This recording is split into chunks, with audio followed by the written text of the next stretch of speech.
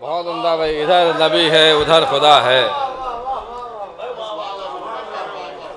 ادھر نبی ہے، ادھر خدا ہے۔ میان پردہ تیری صدا ہے۔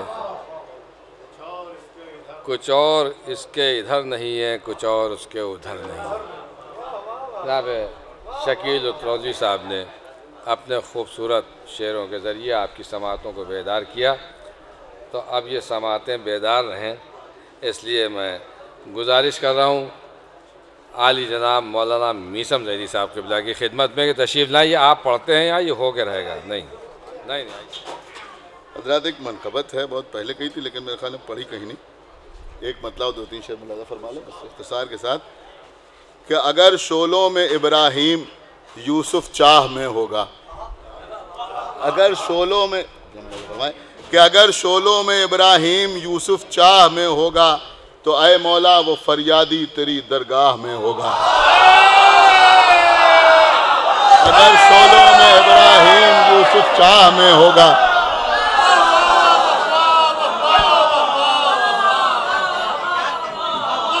کہ اگر شولوں میں ابراہیم یوسف چاہ میں ہوگا۔ اگر شولوں میں ابراہیم یوسف چاہ میں ہوگا۔ تو اے مولا وہ فریادی تیری درگاہ میں ہوگا۔ جو سارے انبیاء کی چھپ کے نصرت کرتا رہتا ہے۔ جو سارے انبیاء کی، جو سارے انبیاء کی چھپ کے نصرت کرتا رہتا ہے، وہ ظاہر جس گھڑی ہوگا تو بیت اللہ میں ہوگا۔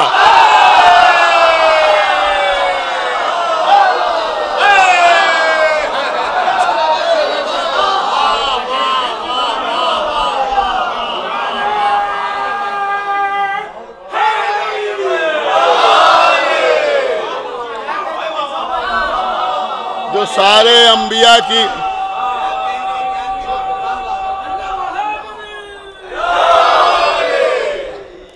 جو سارے انبیاء کی چھپ کے نصرت کرتا رہتا ہے، جو سارے انبیاء کی چھپ کے نصرت کرتا رہتا ہے، وہ ظاہر جس گھڑی ہوگا تو بیت اللہ میں ہوگا۔ وہ ظاہر جس گھڑی ہوگا تو بیت اللہ میں ہوگا۔ حضرات یہ شعر خصوصیت سے ملاحظہ فرمائیں۔ یہاں تمام صاحبان فہم بیٹھے۔ ویسے تو ہم لوگ ہر مجلس میں کہتے ہیں ایک صلوات پڑھنے پر محمد و آل محمد۔ ملاحظہ کہ وہ ظاہر جس گھڑی ہوگا تو بیت اللہ میں ہوگا۔ دیکھیں شکیل بھائی، کہ رضائے رب کی منزل نفس اس کا کر چکا حاصل۔ دیکھیں کہ رضائے رب کی منزل ملاحظہ فرمائیں شعر سمجھنے کا ہے کہ رضائے رب کی، رضائے رب کی منزل۔ قبلہ ملاحظہ فرمائے، رضائے رب کی منزل نفس اس کا کر چکا حاصل۔ ابھی تو خود مدینے کا مسافر راہ میں ہوگا۔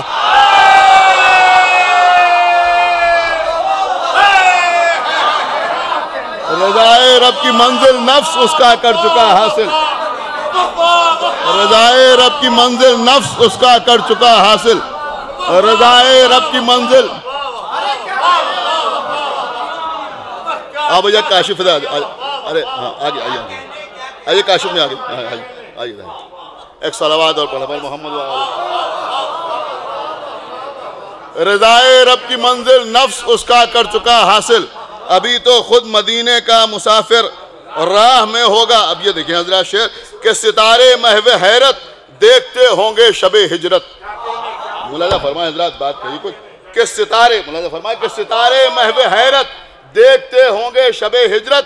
حفاظت کے لیے سورج حسارے ماہ میں ہوگا۔ ستارے محو حیرت دیکھتے ہوں گے شب ہجرت۔ ستارے محو حیرت دیکھتے ہوں گے شب ہجرت۔ ستارے محو حیرت دیکھتے ہوں گے شب ہجرت۔ حفاظت کے لیے سورج۔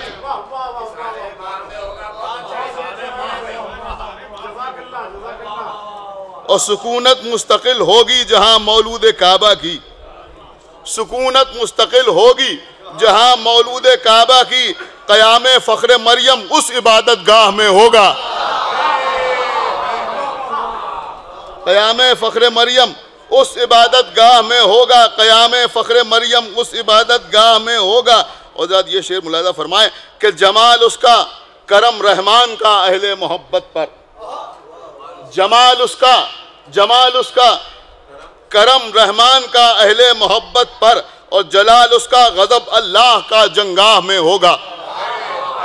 اور جلال اس کا غضب اللہ کا جنگاہ میں ہوگا۔ یہ شعر دیکھیں، یہ آپ کے مطلب کا شعر ہے کہ ملیں گے شکل میں لانت کی کچھ سکے ملامت کے۔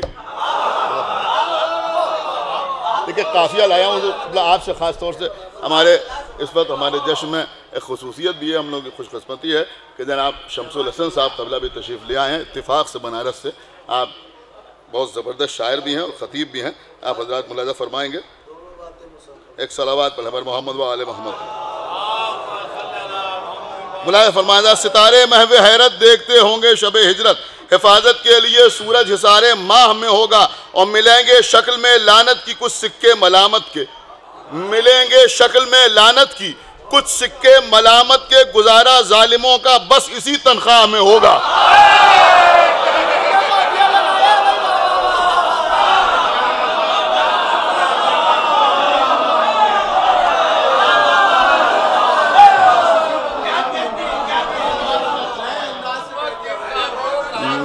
ملیں گے شکل میں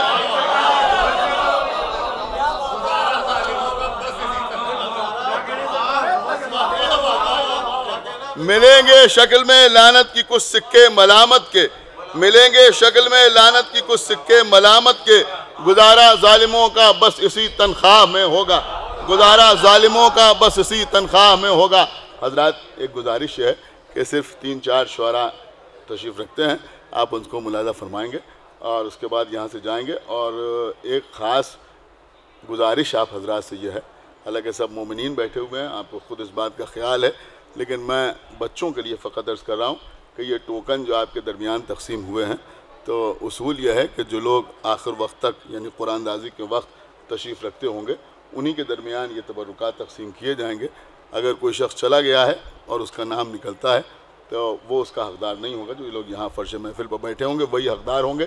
لہذا آپ حضرات سے گزارش ہے، بہرحال یہاں اس کو چیک نہیں کیا جا سکتا، لیکن یہ سرکار باب المراد کی بارگاہ ہے۔ اس بات کا خیال خود رکھیے گا کہ کوئی صاحب جائیں تو اپنے ٹوکن اپنے ساتھ لے کے جائیں، کسی کو اپنا نمائندہ بنا کے نہ جائیں۔